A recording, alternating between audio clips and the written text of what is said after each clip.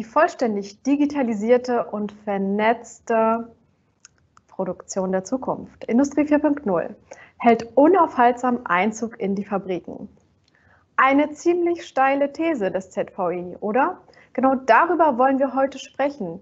Wie nah sind wir eigentlich bereits heute an der Industrie 4.0? Was ist heute schon umgesetzt und was eher Zukunftsmusik?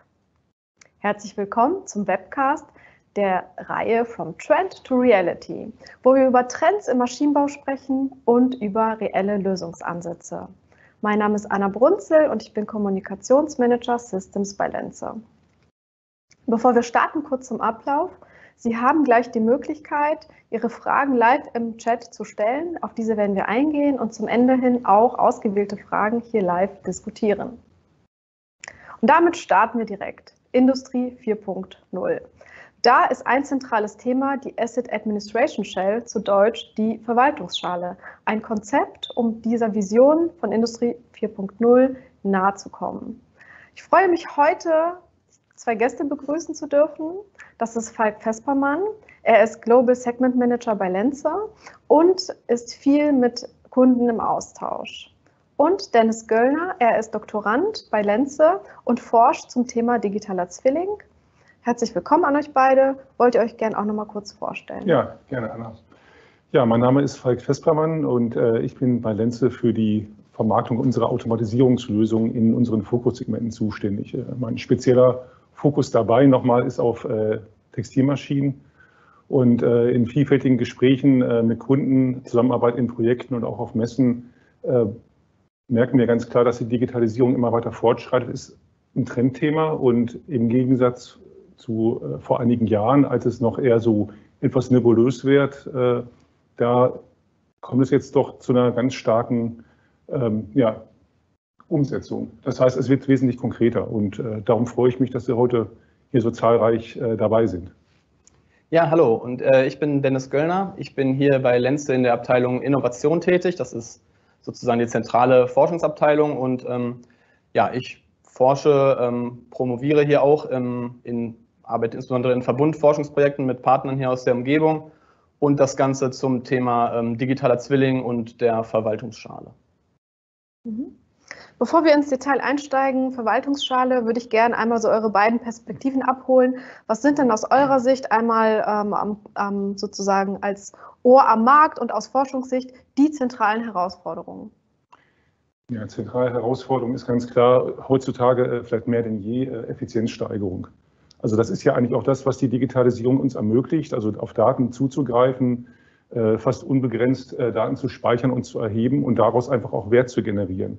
Einmal, um die Effizienz im eigenen Betrieb zu steigern, andererseits dem Kunden aber auch einen Mehrwert zu geben. Und äh, was wir jetzt ja auch stark merken, eben die asiatischen Wettbewerber werden stärker. Das heißt, wir müssen uns oder die Europäer müssen sich noch weiter differenzieren. Und da bietet die Digitalisierung hervorragende Möglichkeiten auch der ja, der Erarbeitung neuer Geschäftsmodelle und das äh, entlang des gesamten äh, Wertschöpfungsprozesses vom Engineering, aber dann auch Übergabe von Daten äh, draußen an die äh, Prozesse, die nachgelagert sind, wie Produktion von Maschinen und dann später auch äh, das äh, Asset Management, in dem Fall also dann die Wartungsservicierung von Maschinen und für den Maschinenbauer auch mit dem ja, mit der installierten Basis der Maschinen weiterhin in Kontakt zu bleiben. Das reißt heute noch oftmals ab und ich behaupte mal einfach, die Maschinenbauer wissen teilweise gar nicht, was mit ihren Maschinen im Feld passiert. Ja, ich würde vielleicht noch mal ein kleines konkretes Beispiel, ein kleines konkretes Problem ähm, versuchen zu beschreiben. Ähm, heute ist es häufig so, dass ähm, unsere Kunden, die OEMs, die Maschinen bauen, die gucken sich an, ähm, die wollen neue Komponenten ähm, in ihre Maschine integrieren und, und suchen jetzt Informationen zu diesen Komponenten. Und heute ist es eben ähm, sehr häufig so, dass die dann von, auf die Seiten, auf die Homepages von uns gehen, auf die Homepages von unseren Mitbewerbern gegebenenfalls äh, auch und dann da ähm, ja, irgendwo versteckt oder also möglichst gut natürlich auf der Homepage präsentiert, aber ähm, Datenblätter finden, PDFs finden, ähm, wo die Informationen unterschiedlich benannt sind. Und ähm, ja, das führt natürlich zu einem hohen ähm, Mehraufwand, ähm, da diese Informationen ähm, zu bekommen.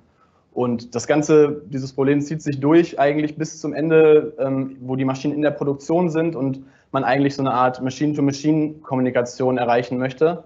Ähm, dafür sind dann auch wieder ähm, Schnittstellen benötigt, äh, werden Schnittstellen benötigt zwischen diesen Maschinen, ähm, um diese Kommunikation autark zu ermöglichen. Und ähm, das sind heute aber noch Probleme, die angegangen werden müssen. Falk, die AAS, zu Deutsch Verwaltungsschale, etwas sperrig. Ähm, was genau kann man sich darunter vorstellen? Ja, wir haben da mal so eine kleine Grafik vorbereitet, ähm, an der man das sehen kann. Äh, die Administration Shell. Und äh, wir sehen jetzt hier auch das äh, Schlagwort digitaler Zwilling. Äh, komplett Fragen auf. Mensch, sind wir hier im, im falschen Webcast? Nein, ist es nicht. Definitiv nicht, weil die Verwaltungsschale stellt im Grunde genommen die Realisierung des digitalen Zwillings dar im oder die Umsetzung des digitalen Zwillings in Industrie 4.0. So ist es auch definiert. Hört sich auch ein bisschen sperrig an, um es ein bisschen einfacher zu machen. Ich habe einen Gegenstand, das kann eine Komponente sein, kann eine Maschine sein, im Zweifel auch eine ganze Fabrik. Und äh, ich muss jetzt dieses Asset, wie es genannt wird, in irgendeiner Weise in meiner digitalen Welt erfassen können. Und dazu braucht es ein Datenmodell und ein Kommunikationsmodell. Und das äh, stellt diese Verwaltungsschale dar, praktisch die Klammer. Man kann es hier ganz schön sehen. Und äh, diese Verwaltungsschale wird im Laufe des äh, Lebenszyklus mit Daten aufgefüllt, auch übergeben. Es könnte auch dann eine zweite Verwaltungsschale geben, wo dann jetzt zum Beispiel der Maschinenbauer nur die Daten weitergibt, die natürlich jetzt für den nächsten Schritt erforderlich sind. Er wird ja schwerlich seine Entwicklungsdaten weitergeben. Und äh, diese Verwaltungsschalen sind auch wieder alle miteinander verbunden. Das heißt, einheitlicher Zugriff und äh, herstellerunabhängig. Und das ist eben auch äh, das Spannende an der ganzen Sache. Die Daten ziehen sich komplett durch. Äh, am Anfang gibt es äh, mal eine, ja, eine Serialnummer zum Beispiel. Also es kann die Maschine geben in der, in der Entwicklung zum Beispiel. Da ist es dann noch eine, die auf eine Type ist. Wenn ich bei uns einen Umrichter nehme zum Beispiel, ist es ein i500 zum Beispiel, eine bestimmte Leistungsklasse und wird dann zur Instanz, wenn es eine Seriennummer kriegt. Das ist ein eindeutiger. Aber alle diese Schalen greifen aufeinander zu und äh, wenn ich jetzt später zum Beispiel mal ein Asset Management mache im Service, habe ich immer noch mal eine Dokumentation im Zugriff, die vielleicht beim Produzenten erzeugt wurde. Mhm. Okay. Ähm, Dennis, äh, wir haben ja gerade gehört, herstellerübergreifend ähm, muss das Ganze sein, damit es funktioniert. Wer arbeitet denn da eigentlich mit? Ähm, genau, also das ist genau das Stichwort. Wir hatten ja eingangs die, die Probleme beschrieben. Ähm, das muss durch die ganze Wertschö oder durch das ganze Wertschöpfungsnetz ähm, funktionieren. Diese Daten müssen durchgängig sein. Das heißt, diese Daten und dieses Datenmodell der Verwaltungsschale muss standardisiert werden. Das Ganze passiert im, im, zentralen deutschen Gremium der Plattform Industrie 4.0. Ähm, das ist geleitet von der Bundesregierung und da drin sind verschiedene weitere Verbände wie Bitkom und der ZVI organisiert. Und ähm, darin wird dieses, diese Verwaltungsschale, dieses ähm, Informationsmodell, wir gehen da gleich nochmal ein bisschen genauer darauf ein, da werden diese, ähm, diese Inhalte und dieses Modell standardisiert. Ähm, das heißt, da sind verschiedene ähm, große und kleine deutsche Unternehmen, ähm, die da zusammen dran arbeiten und gleichzeitig gibt es aber auch dann Diskussionen und Austausch nach äh, oder in die USA, nach Asien, sodass das Ziel ist, da ein, ein weltweites Konzept und einen gemeinsamen Standard zu etablieren. Und ähm, das, das geht jetzt so weit, dass es auch als äh, IEC-Norm, ähm, der Antrag ist durch quasi und ähm, das heißt, da ist eine Norm äh, in der Entstehung, die wirklich international dann ähm, genutzt werden kann. Mhm. Ähm, Falk Lenze hatte ja auf der letztjährigen SPS in Nürnberg ein Showcase dazu, also sozusagen die AAS zum Anfassen. Äh, magst du das mal beschreiben, was wir da gezeigt haben? Ja, klar, gerne. Äh, war auch ein großer Publikumsmagnet, weil viele halt über das Thema sprechen, aber äh, die wenigsten haben da wirklich schon was zu zeigen. Und natürlich ist es auch ein Zukunftsthema, ganz klar, aber man muss sich eben auch schon heute damit beschäftigen. Also was haben wir hier gezeigt? Äh, wir haben mal diese Wertschöpfungskette vom Engineering bis zum After Sales beschrieben. Ähm, wir haben da die Tools Easy System Designer, das ist ein, ist ein Lenze-Tool. Und in diesem Tool kann ich Architekturen zusammenbauen. Also ich designe meine Maschine in diesem Tool äh, greift dann dabei, und jetzt kommt die äh, AAS ins Spiel, auf, äh, auf Datenbanken zu, äh, kann das Ganze anreichern, in dem Fall zum Beispiel mit Betriebsanleitungen, kann PDF sein, äh, E-Plan, äh, Makros und so weiter, sodass ich später dann meine Maschine, und die haben wir halt auch gezeigt, in dem Fall war es eine Pickerzelle, betrieben haben. Und diese, diese Pickerzelle oder diese Maschinenmodule können dann auch in einem weiteren Showcase, haben wir das gezeigt, über Plug-in-Produce äh, miteinander kommunizieren. Das heißt, die Verwaltungsschalen unterhalten sich. Das ist halt auch ein ganz spannendes Thema, auch Zukunftsthema, aber eben von uns realisiert. Und im nächsten Schritt, unser Asset Management greift dann wiederum auf exakt diese Daten zu. Das heißt auf, auf Typdaten, die entsprechend Dokumentationen bereitstellen, aber eben auch über die Serialnummern auf das, was mit den Assets jetzt auch schon passiert ist. Und äh, dann zum Beispiel im, im Austauschfall, im Servicefall direkt einen Ersatzteil bestellen zu können oder aber auch den Service äh, auf ein äh, Asset äh, denken zu können, um dort zu sehen, was ist denn mit dem eigentlich passiert, äh, wie war die Auslastung und so weiter. Weil ein Teilmodell zum Beispiel wäre jetzt ja auch äh, Condition Monitoring. Also es greift alles, alles zusammen und das symbolisiert halt auch diese Klammer. Und ja, war total spannend, vielleicht auch spannend so die Kundenreaktion waren halt erstaunt, dass sowas überhaupt schon, äh, schon möglich ist. Und viele kamen eben einfach aus ihrer kleinen Domäne. Die einen waren mehr vom, aus dem Engineering und sagen, Mensch, da ist ja echt noch mehr drin. Es ist ja toll, dass das so funktioniert. Andere waren jetzt, kamen mehr aus der Ecke Service und sagen, ach, die Daten kommen ja schon woanders her. Also dieses, so ein gewisses Aha-Erlebnis, aber eben auch so, ja, die Botschaft, Mensch, äh, da müssen wir was machen. Andererseits aber auch, da ist was für uns drin. Also ja. kam echt gut an. Ja. Zum Plug Produce haben wir übrigens auch äh, einen Webcast bereits aufgezeichnet, finden Sie bei uns im YouTube-Channel. Ähm, Dennis, das hört sich ja plausibel an, was Falk hier präsentiert. Magst du noch mal ein bisschen erzählen, wie sind da so die Hintergründe? Also wie ist das wirklich realisiert technisch? Genau, ähm, ich würde jetzt ähm, diese einzelnen Schritte, die Falk gerade einmal, der hat gerade einmal einen Überblick gegeben, ich würde in die einzelnen Schritte nochmal im Detail reingehen. Ähm, und zwar hatte Falk eben schon erwähnt, es gibt das, ähm, das, das Lenze-Tool, der Easy System Designer. Ähm, man sieht hier jetzt einen, einen Screenshot aus diesem Tool, ähm, um, um da nochmal, wenn, also wenn sich da jemand nochmal ähm, für interessiert, da gibt es in zwei Wochen ähm, auch nochmal einen separaten, ähm, separaten Webcast zum Thema Digital Engineering. Ähm, wir haben dieses Tool als, als Ausgang genommen für unsere Verwaltungsschalen. Das heißt, wir haben hier eine Maschine, die sogenannte Pickerzelle, und äh, in diesem Engineering-Tool kann ein Kunde von uns quasi seine Maschine ähm, modularisieren ähm, und die ähm, einzelnen Antriebsachsen auslegen und die Komponenten auswählen. Das heißt, ähm, man sieht das hier, wir haben hier rechts die Struktur, wir haben hier eine, eine Infeed, ein Infeed-Maschinenmodul, haben zwei Picker mit jeweils äh, drei Antriebsachsen und, ähm, und so weiter. Und diese ganzen ähm, Informationen, das heißt, welche Komponenten sind denn jetzt eigentlich in meiner Maschine verbaut, die haben wir quasi aus dem Easy System Designer exportiert und dann in eine Verwaltungsschalenstruktur gebracht. Das heißt, ähm, wir haben da, wir haben ge gesagt, eigentlich macht es da Sinn, weil damit muss unser Kunde weiterarbeiten, damit können andere auch weiterarbeiten. Eigentlich ist das der Ausgangspunkt für die Verwaltungsschalen einer Maschine. Und ähm, was wir dann gemacht haben, wir haben, um das Ganze ein bisschen besser darstellen zu können, ähm, so eine Augmented Reality Umgebung implementiert. Man sieht das hier, das ist jetzt eine, eine Komponente, die in dieser äh, Pickerzelle quasi drin ist. Und da, ähm, wenn man sich die anschaut, kann man mit, mit der Augmented Reality, also das ist jetzt ein Screenshot aus einem, äh, von einem Tablet, ähm, dann wird quasi genau die Verwaltungsschale mit ausgewählten Informationen dazu dargestellt. Das heißt, in dieser Verwaltungsschale sind jetzt im einfachsten Fall hier vier, vier Merkmale drin, ähm, wie ja, Datenblattdaten, ähm, Seriennummer und so weiter, um das einfach mal ähm, vor Auge zu haben, was das eigentlich bedeutet. Wir haben einen standardisierten, einheitlichen Zugriff auf diese Informationen. Und was jetzt aber dahinter steckt und was auch quasi standardisiert wird im Gremium, ist diese, dieses Metamodell der Verwaltungsschale. Das ist jetzt ein bisschen eine technischere ähm, Sicht auf das Ganze. Ähm, man sieht jetzt hier wie müssen diese Informa Informationen strukturiert sein zu dieser Verwaltung, äh, zu dieser Komponente, zu diesem i700.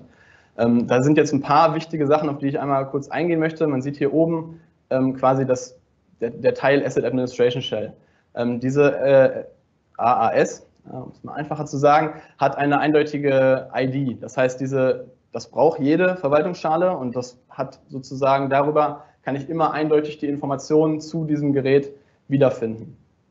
Und ähm, die eigentlichen Inhalte zu diesem Gerät sind dann in sogenannten Submodels oder Teilmodellen strukturiert.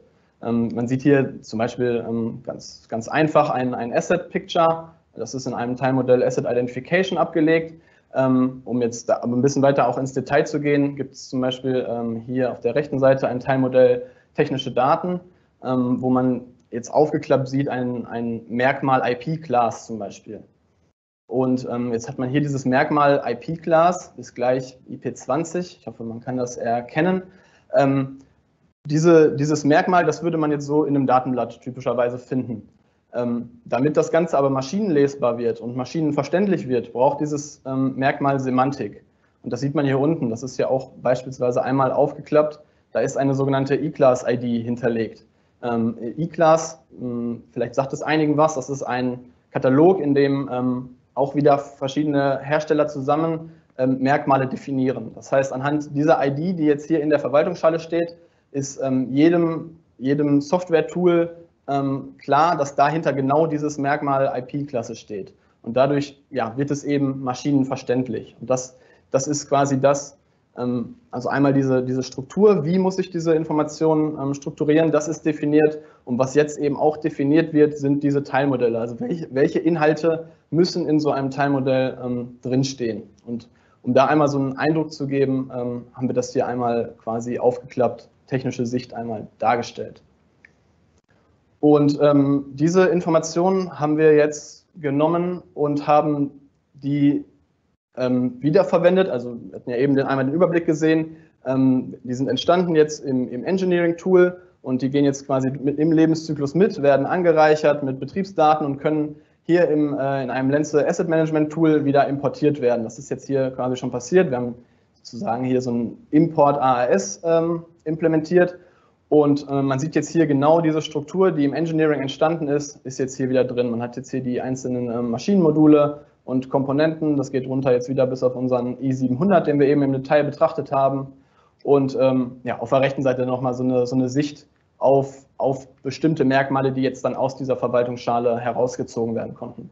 Und das heißt, ähm, das hätte man jetzt natürlich auch proprietär lösen können, aber so ist es eben möglich mit diesem einheitlichen standardisierten Format, ähm, dass beliebige Hersteller eigentlich Tools implementieren können und können sich darauf verlassen, dass die Informationen immer in dieser ähm, standardisierten Struktur ähm, bereitgestellt werden. Und ja, das einmal so als ja, Blick ein bisschen ins Detail von diesem Showcase, um mal zu verstehen, was eigentlich konkret hinter der Verwaltungsschale steckt und was eigentlich heute auch schon möglich ist, was man damit eigentlich schon machen kann. Mhm. Hier hat das ja Lenze einmal demonstriert, was da heute schon möglich ist, aber letztendlich ist es natürlich auch keine Lenze-Erfindung, sondern es braucht die Zusammenarbeit von anderen auch. Welche konkreten anderen Beispiele gibt es hier, die du vielleicht auch nennen könntest?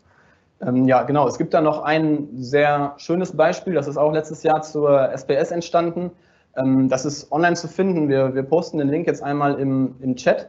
Das ist quasi das, das nennt sich digitales Typenschild. Da haben sich ähm, verschiedene Hersteller zusammengetan und haben gesagt, ach, eigentlich müssten wir doch als absolute Basis erstmal die, die Informationen, die zu meinem Gerät auf dem, heute auf dem physikalischen Typenschild sind, die müssen wir doch eigentlich erstmal standardisiert und ähm, einheitlich von allen abgebildet haben. Und deswegen haben da quasi die, die einzelnen Hersteller, man, man, sieht das auf der Seite, wenn man sich das anschaut, wer da dabei war, ähm, einmal genau diese, diese Inhalte und ein paar ähm, Dokumentationen, PDFs in diese Struktur der Verwaltungsschale gebracht und das auf diesem Server ähm, hochgeladen. Und da, da, ja, da sieht man eben, was das für Vorteile bringt, wenn, wenn alle diese Struktur einheitlich verwenden. Mhm, okay, ja super, danke für den Ausblick, dass man sich hier dann nochmal weitere konkrete Projekte angucken kann.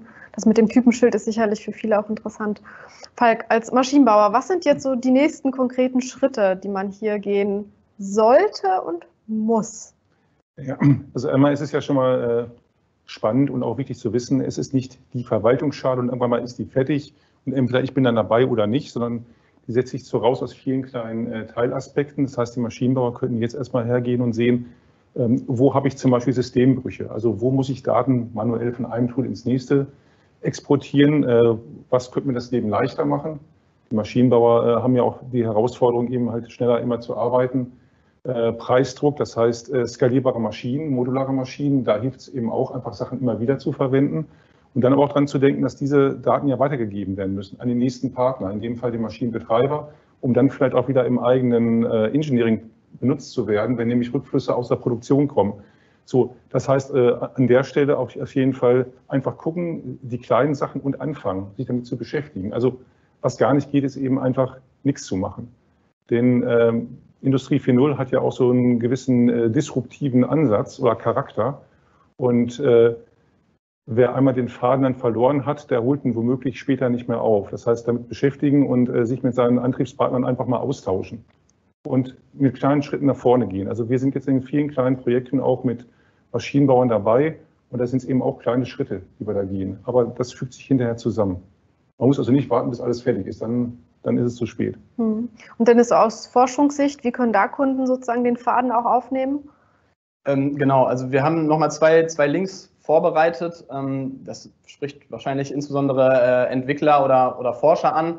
Ähm, das ist einmal der sogenannte ASX Package Explorer. Ähm, das ist ein, ein Tool, in dem man einfach mal dieses Metamodell, also dieses Informationsmodell, diese Struktur kennenlernen kann, seine eigenen ähm, Komponenten darin abbilden kann. Das, das posten wir einmal im, im Chat. Und ähm, als zweites, das ist ähm, etwas umfänglicher, ähm, aus dem Forschungsprojekt kommt das, aus dem Forschungsprojekt Basissystem Industrie äh, 4.0. Das hat jetzt gerade ein Folgeprojekt auch, bei dem wir auch beteiligt sind, Basissystem Industrie 4.2. Ähm, da ist eine Open Source Lösung entstanden, Basix nennt sich die. Und dazu posten wir den Link auch einfach mal im, im Chat. Da gibt es eine Dokumentation zu. Also wer da jetzt interessiert ist und wer da ähm, mitmachen möchte, seine Komponenten abbilden möchte, ähm, einfach mal da auf den Seiten nachschauen und sich da mal ein bisschen ähm, zurechtfinden und ja, erste Implementierungen starten. Mhm. Okay, super. Vielen Dank bis hierhin. Ich äh, schaue im Chat, wir haben auch schon erste Fragen.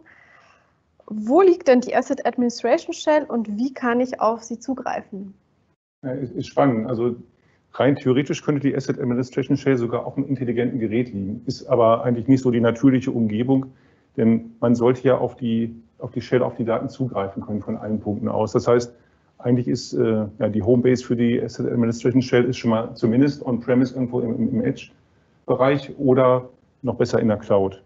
Und ja, darauf zugreifen, ja, kann man zum Beispiel eben mittels OPC-UA als äh, Kommunikationsmedium äh, oder ähm, Protokoll, während OPC-UA halt als Informationsmodell eben nur ein Teil äh, widerspiegelt. Mhm. Das heißt, da ist auch dieser Dualismus. OPC-UA ist nicht die Shell, aber OPC-UA ermöglicht eben alles, aber ist eben nicht ist halt nicht alles. Mhm, genau, das ist tatsächlich auch eine weitere Frage. Also welche Rolle spielt eigentlich OPC-UA dabei? Bist du ja gerade ähm, schon drauf eingegangen. Möchtest du noch ergänzen? Ich wollte gerade noch mal ergänzen zu der, zu der äh, Frage eben. Also dieses, das Konzept der Verwaltungsschale ist eben so weit gedacht, dass es eigentlich am Ende egal ist, wo die Informationen liegen. Also durch, ich hatte das eben kurz angesprochen, diese, diese eindeutigen Identifier. Ähm, wenn man da die Implementierung vernünftig gestaltet, dann ist es eben über diese Identifier immer ähm, klar, wie in so einem Telefonbuch kann ich dann diese Informationen wiederfinden. Das heißt, wo die dann ähm, liegen, ist steht in diesem Telefonbuch ähm, und das kann ich mir dann aber aussuchen. Also zum Beispiel eine, eine, PDF oder ein Dokument wird wahrscheinlich eher dann in der Cloud liegen und ähm, Prozessdaten eher auf dem Gerät. Und das, ja, über diese Identifier kann ich das verteilt abspeichern. Und ähm, zur anderen Frage, also ja, die OPCOA, wie spielt das zusammen? Ähm, also OPCOA ist ja in der Regel was, was im Betrieb verwendet wird, ähm, wo Maschinen quasi wirklich ähm, im Betrieb Prozessdaten ähm, bereitstellen, austauschen und wirklich als, als quasi Nachfolger von Feldbussen gedacht ist. Ähm, und die Verwaltungsschale sieht quasi, dass der Lebenszyklus eigentlich weitergeht als nur dieser Betriebsfall. Wir hatten das ja eben, wir haben jetzt auch sehr viel über das Engineering gesprochen. Da ähm, spielt OPCOA erstmal eher nicht so eine große Rolle. Und was jetzt die Verwaltungsschale macht, das ist quasi ein, ein technologieneutrales Informationsmodell, was ich in OPCOA abbilden kann, ähm, beispielsweise aber auch in Automation ML. Und so kann ich eben Durchgängigkeit durch den ganzen Lebenszyklus einer Komponente ähm, erreichen. Okay. Eine weitere Frage. Gibt es eine Einschätzung, wie lange es noch dauert, bis ein Standard erreicht ist? Ähm, naja, kann ich, kann, kann man schwer äh, also einschätzen. Also ich, ich würde mal sagen, dieser dieses ganze Konzept Verwaltungsschale ist ähm, nie richtig vollständig fertig. Und das ist auch eigentlich gar nicht ähm, der Sinn. Durch diese, durch diese Strukturierung in, in Teilmodelle ist es eben so, also es ist jetzt standardisiert, jeder kann anfangen, ähm, mit diesen Verwaltungsschalen zu arbeiten. Aber welche Inhalte jetzt eigentlich in die Teilmodelle müssen, dafür ähm, müssen sich jetzt quasi Gruppen zusammenfinden, die einen bestimmten Maschinentyp, bestimmte Komponenten, ähm, entwickeln. Da gibt es jetzt zum Beispiel Gruppen, die ähm, quasi so Antrieb 4.0, also Antriebshersteller, die da ähm, erste Teilmodelle ähm, entwickeln. Und ähm, diese Teilmodelle stehen dann für sich. Das heißt, wenn ein Teilmodell für einen Anwendungsfall fertig ist, dann ist das quasi fertig, dann kann das jeder verwenden. Und so wird es immer wieder neue Anwendungsfälle geben, die dann ähm, neue Teilmodelle erfordern. Und so wird das ähm, Konzept immer weiterentwickelt. Genau, denn einige gibt es ja auch schon. Ne? Wenn man jetzt sich an die Companion Specs zum Beispiel anguckt, für verschiedene Maschinentypen, Euromap für Spritzgussmaschinen oder eben die ja, PackML, OMAG äh, im Bereich Consumer Goods. Und äh, aus Erfahrung weiß ich halt eben, dass sich andere Textilmaschinen zum Beispiel damit auch beschäftigen. Die haben es noch nicht fertig, arbeiten aber dran. Und das ist ja das Schöne, ne? man kann es modular runterbrechen. Und was ich schon sagte, also es ist ja nicht, auf einmal ist alles fertig, sondern es sind Teilmodelle und die Asset Administration Shell bildet dann ja den Schirm, die, die, die Klammer um das Ganze. Das heißt, an die Maschinenbauer halt äh, da anfangen, wo man gerade arbeitet, dort die, äh, die Gruppen suchen, die das standardisieren und äh, das wird dann hinterher dafür genutzt, um es dann in der Administration Shell zusammenzubinden. Mhm. Wenn ich mich jetzt immer als Maschinenbauer in einem Kontext bewege, beispielsweise nicht in der Verpackungsindustrie, wo es schon erste Standards gibt, und ich das Gefühl habe, dass meine Kunden, die Endanwender, eigentlich noch gar nicht so sehr danach fragen, ähm, inwieweit äh, muss ich mich heute damit trotzdem schon beschäftigen? Ja, es ist ja genau dieses äh, Herstellerunabhängige. Also wir sehen es halt in einigen Industrien, da werden schon ganzheitliche Lösungen angeboten. Zum Beispiel Systeme, die jetzt einem ein Betreiber von äh, in einer gewissen Industrie, bleibe ich mal bei Textil, einfach ermöglichen, alle Maschinen einzubinden. Das heißt, die versuchen natürlich dadurch dann die, die Endkunden zu binden in ein äh, ja, proprietäres System. Ich bin mal gespannt, ob sich das denn die, äh, ja, die Endkunden so lange gefallen lassen. Es geht in dieses Herstellerunabhängige. Und ich bin mir ziemlich sicher, dass irgendwann der Zeitpunkt kommt, wo der Endanwender dann sagt, so, ich habe Third Party und ich möchte gerne die Komponenten jetzt rein integrieren. Und habt ihr diesen, habt ihr eine Verwaltungsschale sozusagen, bietet ihr das mit an? Und das wird irgendwann Voraussetzung werden, alleine schon in der Produktauswahl. Wenn sich jetzt der Einkäufer dahersetzt und äh, jetzt beim Maschinenbauer zum Beispiel eine Komponente sucht, dann wird der über die Verwaltungsschale in, in Kataloge gehen, vielleicht in Ausschreibungsplattformen und wird da Komponenten suchen, die weitaus äh, mehr und besser beschrieben sind, als es das heute der Fall ist. Und wer nicht dabei ist, der ist dann halt nicht dabei. Mhm. Ja, ja kann ich mich eigentlich nur anschließen. Also wir haben, wir sind ja mit einem, mit einem Statement, mit einer These gestartet, die ja auch vom ZVI kam und wenn man dem Ganzen glaubt, und das tun wir, glaube ich, das tue ich, dann, ähm, dann muss man eben auch diesem Hauptkonzept dahinter folgen. Und ähm, ja, also ich bin mir sicher, dass man das tun sollte. Mhm. Ja, ich sehe, dass wir noch einige Fragen im Chat haben. Wir werden gleich noch die Möglichkeit haben, dass äh, Sie weiterhin noch mit unseren beiden Experten, Frank Vespermann und Dennis Göllner, auch weiterhin chatten können. Erstmal bis hierhin vielen Dank an euch. Schön, dass ihr heute da wart. Ja, danke ja, und äh, danke an die, an die Zuschauer. Ja, wir blenden jetzt auch noch mal kurz die Kontaktdaten ein der beiden. Sie können sie gerne auch noch mal direkt kontaktieren per E-Mail, ähm, LinkedIn, Telefon und hier einfach noch mal tiefer einsteigen.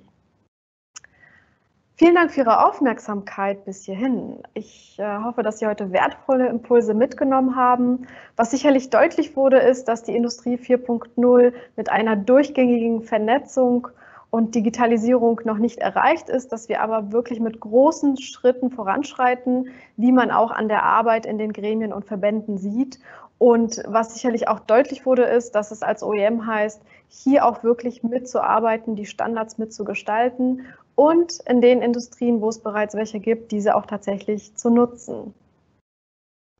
Weitere Infos zu weiteren Talks finden Sie auf unserer Webseite und die bisher aufgezeichneten auf unserem YouTube-Channel. Einfach abonnieren, dann verpassen Sie auch keine weiteren Folgen. Ja, nächste Woche geht es mit dem Thema weiter Energieeffizienz im Maschinenbau und wir schauen uns einmal die Ökodesign-Richtlinie an. Ich wünsche Ihnen viel Erfolg bei der Arbeit an den Standards. Bis dahin.